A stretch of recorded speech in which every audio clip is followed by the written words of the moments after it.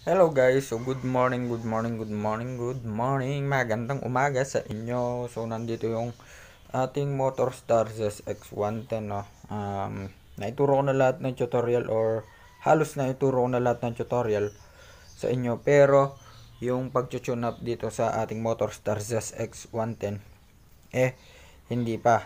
So ayan mga master no. Ah, sa ganitong motor nga pala um, marami siyang Ah, pagdating sa pagsusyon up, marami siyang ah, katulad no, um, katulad na procedure. So, ano ba yung mga motor na katulad nito or kagaya nito na iisa lang yung ah, paraan or procedure na ginagawa para ma-tune up yung motor.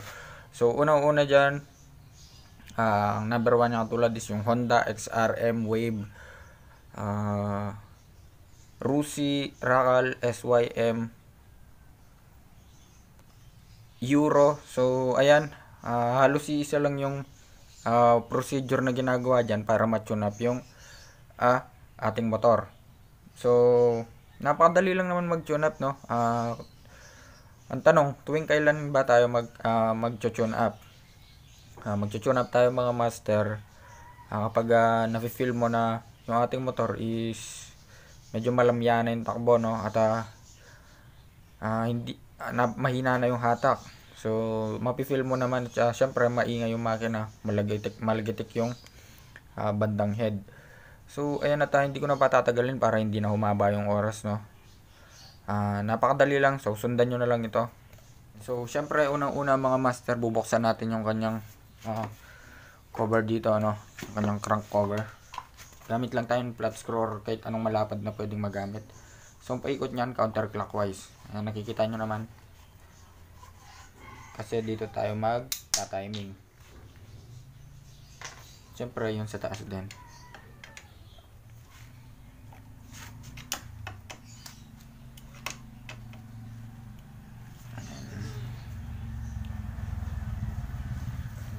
Nga pala mga master no, kapag uh, pagdating dito sa ganitong cover, takip tulad niya na bungi na, may nabibili naman yan sa Shopee.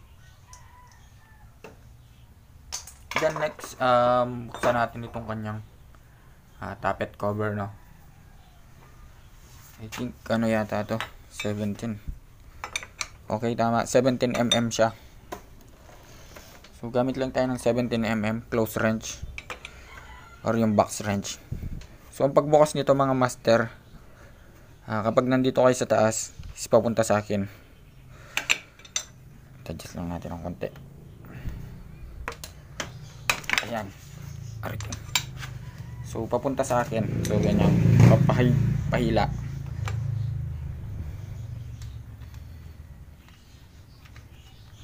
So, natin. Napakadali lang naman mag-tune up kapag ka nakuha mo yung ang um, pinaka-principle niya. Then, kanina, kung ito papunta sa akin, yung sa baba naman, palayo sa akin. So, yun lang yung, yung tatandaan nyo mga master, no? Para ma-tune natin yung ating motor. Kasi dito sa pagbubukas ng ating tappet cover marami nagkakamali or nalilito.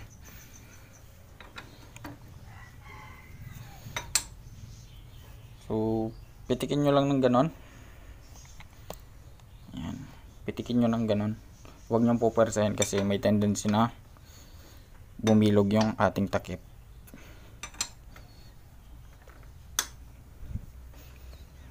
lapat lang natin. So ayan.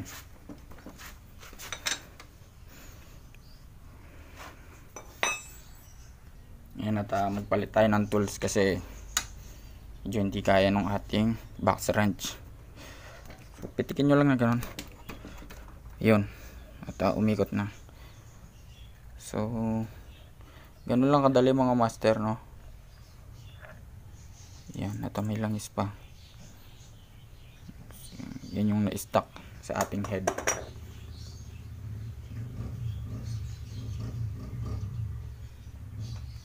Nakakuha lang ako ng basahan.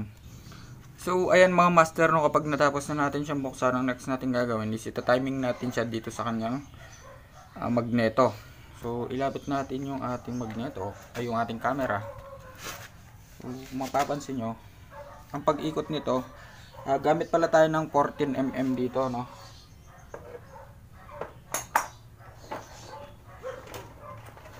Gamit tayo ng 14mm para maikot natin yung socket dito sa loob. O yung ating tornilyo. O yung ating magneto. Gamit tayo ng so ayan 14mm kung mapapansin nyo naiikot ko siya. So ngayon um, before ko ituro yung timing wait lang papakita ko muna yung kung mapapansin nyo yung ating uh, rocker arm. So yan yung ating rocker arm no mga master. Kapag inikot ko to ng counterclockwise gagalaw yan.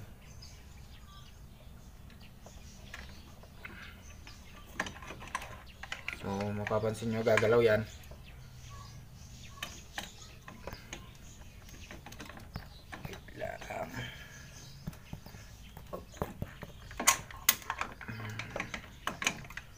Ayan. Oh, mapapansin nyo, bumabaon siya. Ayan. Oop, suminaw. So, compression. Meron siyang compression. So, isa pa. Ayan. Ngayon, kapag napagalaw nyo na yan, pwede nyo na siyang i-timing dito. Okay, silipin nyo yung malit na butas dito sa taas.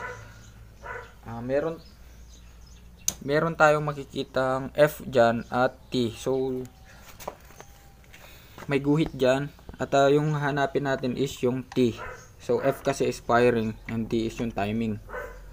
So, counter, uh, counterclockwise lang yung paikot. Hanapin natin yung T. Dahan-dahan. Medyo may compression siya mga master at uh, lalaban talaga siya, no?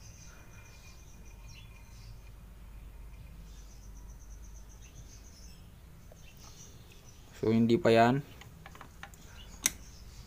Ayan. So, pag nakita nyo yung letter F yan, T yung hinahanap natin. So, ito na. Ngayon, ito, itutok nyo sa pinakagitna. Ayan. Medyo may compression yan. Kapag ka lumagpas, babalik. Kumbaga, kukunin mo talaga yung timing. So, kapag ka lumagpas, ayan mga master, no? Ah, saktong-sakto siya. Meron siyang gatla dito sa gitna saktong-sakto yung guhit sa gitna, hating-hati. So, ibig sabihin, naka-timing na siya niyan. Ngayon, uh, kung di pa kayo satisfied,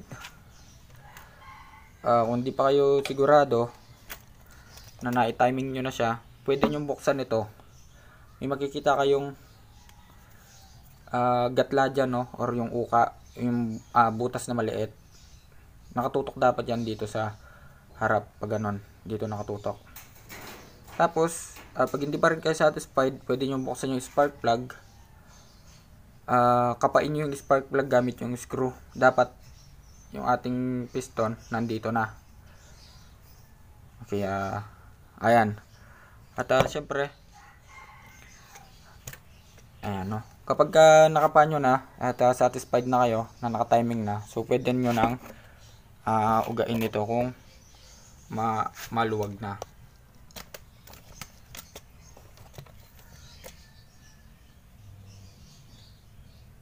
Ang play nito mga master no pataas pababa.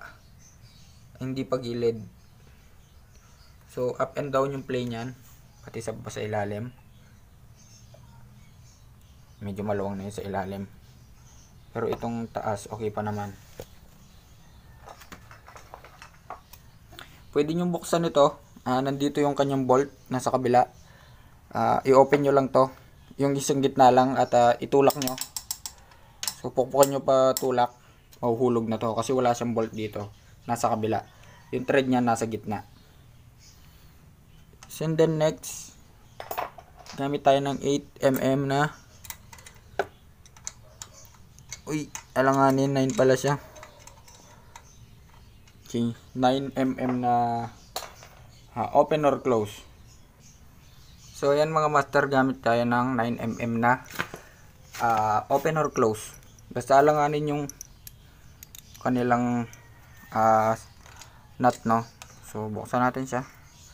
Uh, pag ang pagluwag nito mga master is papunta doon, paangat. Yan yan yan. Ayusin ko lang. Okay yan. So luwagan natin yan. Ayan, naluwag na. So iangat lang natin yung tornilyo. Yan, uuga na yan. Then, ah ayan, Ah, madalas ko nga palang gamit dito is ah, 0.0.04 no sa intake. Ah, ito kasi yung intake valve. Ah, rocker arm no. Intake valve to. So pwede nyo na siyang i-clearance. Kung ah, wala kayong ah, ah, filler gauge mga master, pwede kayong gumamit ng blade para cook in ka nyo manipis. At ah, pag wala pa rin, pwede nyo naman siyang tansyahin kung sanay na kayo. Yan, iba-valve clearance lang natin siya. Ta ito nga pala ng ating filler gauge is uh, flexible yan, no. So 0.04 at 0.05 sa exhaust. Yan dapat mga master may laban yan. Pag inihila nyo, may hagod. At ang pagpahigpit nga pala itong ating mismong tappet, no. Tappet screw. So gamit kayo ng pliers kung pwede pliers kung kaya nyo. So dapat may play yan at uh, may clearance yan. So sakto lang dapat itong pumasok. At uh, kapag hinila mo dapat may tension or may laban. Medyo maluwag pa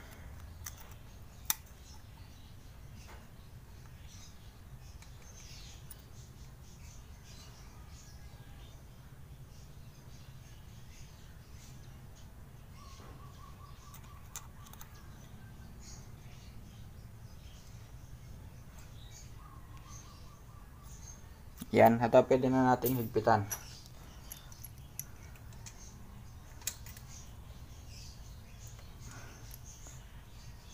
Ayan, at okay na yung ating intake. So, sa exhaust naman tayo. So, same procedure lang mga master, no? Pero magka iba lang sila ng clearance gap or yung gap. Kanina, 0.04 yung gamit natin, millimeter. Ngayon naman is medyo mahigpit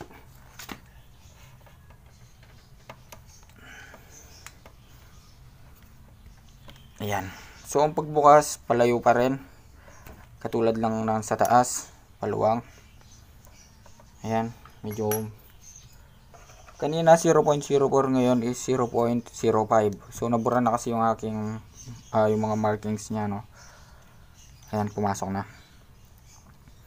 So dapat pagka pinasok nyo to sa pagitan mga master, yung mismong pinaka buntot ng valve o yung valve stem at sa pagitan nitong tappet screw.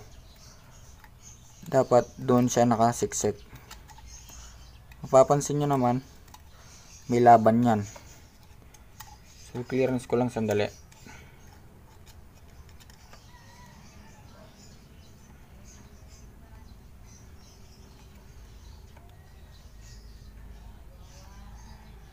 At uh, dapat medyo maluwang yung or malaki yung gap ng ating exhaust. Kasi exhaust yan. So, okay na to. Yan. Ipitan na natin.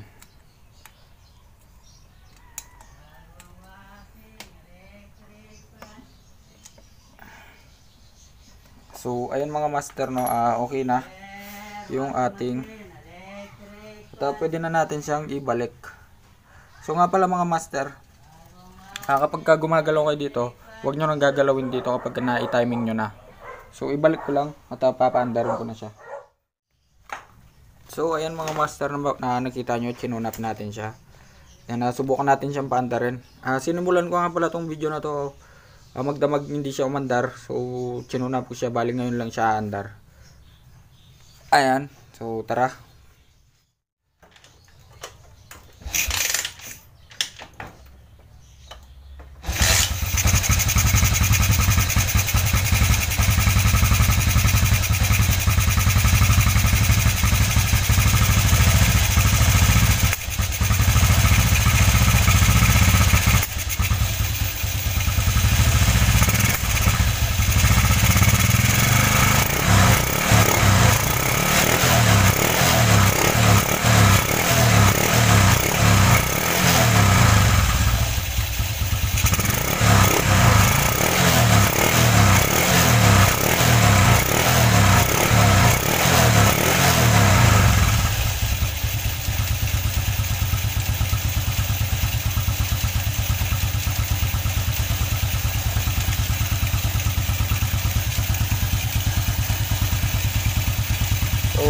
mga master, nakita nyo naman, ah, ngayon lang siya umandar kanina at kinunap natin. So magdamag nga pala sa hindi umandar no. Kumbaga na ah, umaga kasi ah, para mapatunayan ko sa inyo na okay yung pagsusunap natin. So patayin ko lang. So ayun mga master no kapag ka nakuha niyo yung ah, procedure nito ah, alam nyo na i-tune up kahit anong brand. So, XRM, Racal Rusi, Euro, SYM. So, isa lang naman yung procedure na ginagawa dyan. Ah, kung paano i-tune up yung mga yon. So, ayun mga master, hanggang dito na lang, no. So, sana may natutunan kayo at ah, kung nagustuhan yung video na to. So, please, like, share, and subscribe.